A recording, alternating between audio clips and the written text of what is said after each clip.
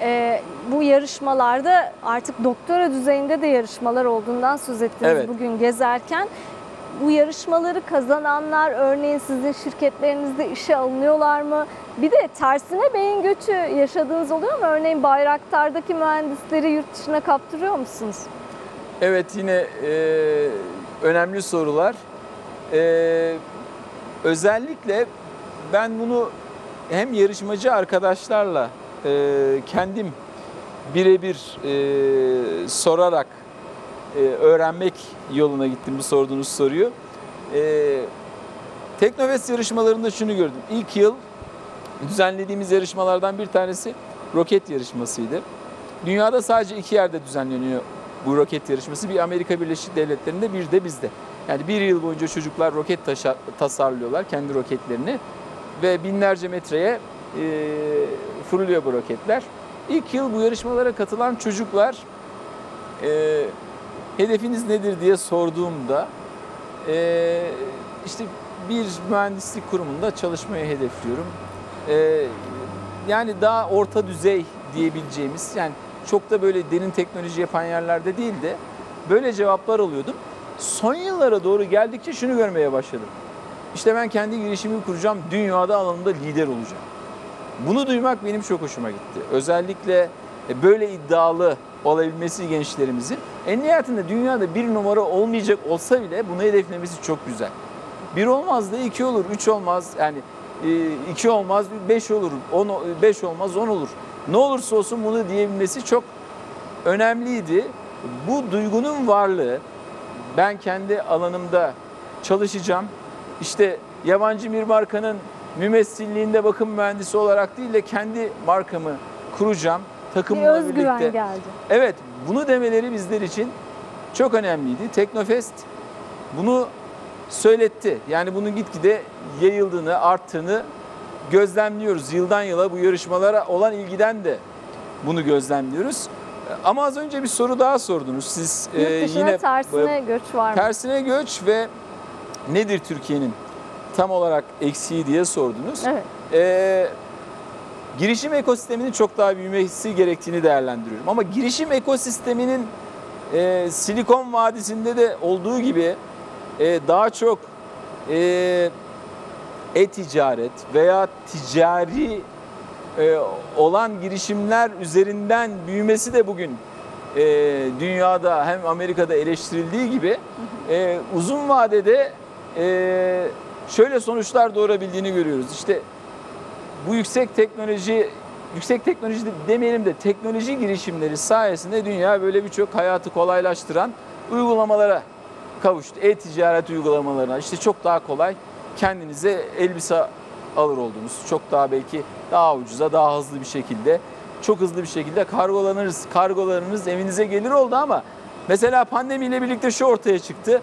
Biz bu kadar büyük yatırımları hep böyle kısa vadeden para kazanılacak yerlere yatırdık ama e, bir virüsün e, ilacını bulmada çok geciktik. Mesela antiviral ilaçlar dünyada çok yavaş ilerliyor. Veya kanserin tedavisini düşünecek olsak buna ayrılan kaynaklar çok daha az oldu.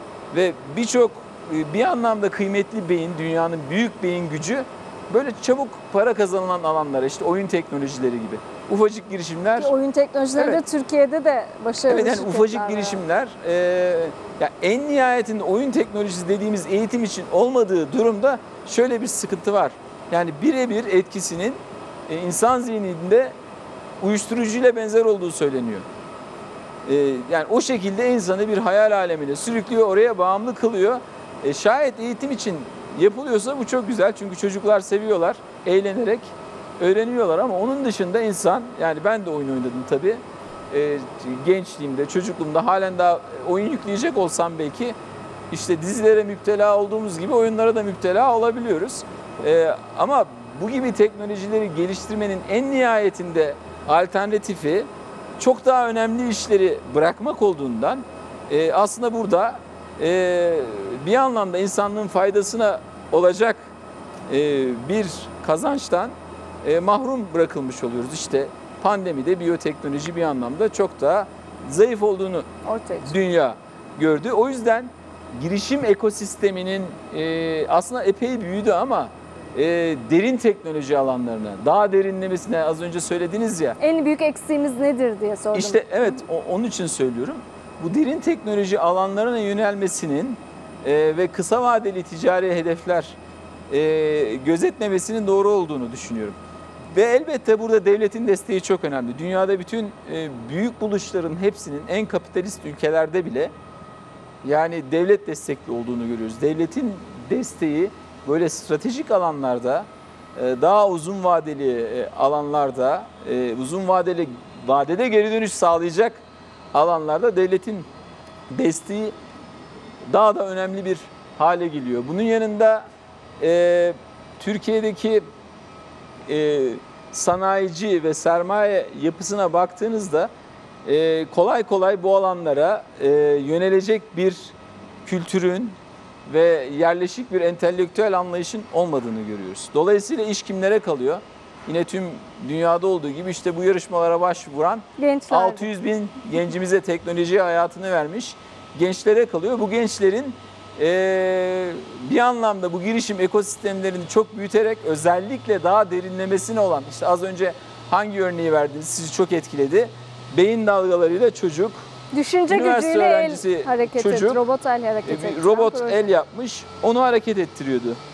Değil mi? Bu gibi teknolojilere yani e, daha derinlemesine bilimsel e, derinliği olan e, ve e, teknolojik derinliği olan alanlara e, destek gerektiğini düşünüyorum. Bu alana doğru Aslında devlet desteği de önemli. Bu özel sektörün de biraz vizyon geliştirmesi, kısa vadede kar hedefli olmak yerine uzun vadeli teknolojik yatırıma yönelmesi lazım. Türkiye'nin de herhalde en büyük e, şu an eksiklerinden Evet yani biri bu. Türkiye'deki sanayici sanayici kuruluşlara baktığımızda işte sanayiden tabii e, genelde en yüksek teknolojiye ait bir şeyler çıkmadığından daha çok üretici konumunda olduğundan bugün artık dünyada biliyorsunuz üretmek de etmiyor. Bu teknolojinin fikri haklarını sizin geliştirmeniz gerekiyor. O, o kabiliyete sahip olmanız gerekiyor. O kabiliyete ulaştığınızda ancak yüksek katma değere ulaşabiliyorsunuz. Yani düşünün ki bu telefonların hepsi Çin'de üretiliyor.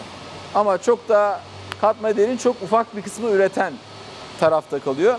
E, üreten tarafta düşük katma değerli üretim yaptığından e, belki e, inşaat e, sektöründe e, bir anda arz veya e, talep tarafında bir dengesizlik oluştuğunda bir inşaat projesiyle 30 yıllık sanayiden e, kazandığım imkanı Kazanabiliyorum ee, diye Yani bakıyor. bir, bir seferde inşaat projelerinden e, o yöne yönelebiliyor. Asla kolay kolay da e, böyle maceralara bir anlamda derin teknolojiyle alakalı e, ve veya yüksek teknolojiyle alakalı bir girişimi destekleme macerasına asla girilmiyor. Ve hatta mevcut ekosistemde kolay kolay girişim ekosistemi Türkiye'de epey bir büyüdü son yıllarda. Ama o da daha çok hızlı e, para peşinde, çabuk geri dönüşümü olan e, girişimlerin peşinde. Biz de bu maksatla aslında hem T3 Vakfı olarak hem Teknofest olarak daha uzun vadeli e, e, geri dönüşü olacak girişimleri destekleyecek programlar başlattık. Hatta ben kendim e, SB girişim yatırımları adında sadece böyle teknolojilere yatırım yapabilmek için, kişisel yatırım yapabilmek için, onlara destek olabilmek Angel için Investor mı deniyordu size? Bunlara melek yatırımcı Melek da deniyor ama yatırımcı. biraz daha böyle stratejik alanlara yani çok daha uzun vadeli kimsenin kolay kolay yatırım yapmayacağı alanlara e, tabii çok büyük değil ama bir başlangıç olarak e, Teknofest'te yürüttüğümüz e, program da çok büyük değil ama en azından başlandı. İnşallah onlar da zamanla büyüyecek. Yurt dışına giden mühendis var mı sizden Ha, bu da çok sordum. e, önemli bir soru.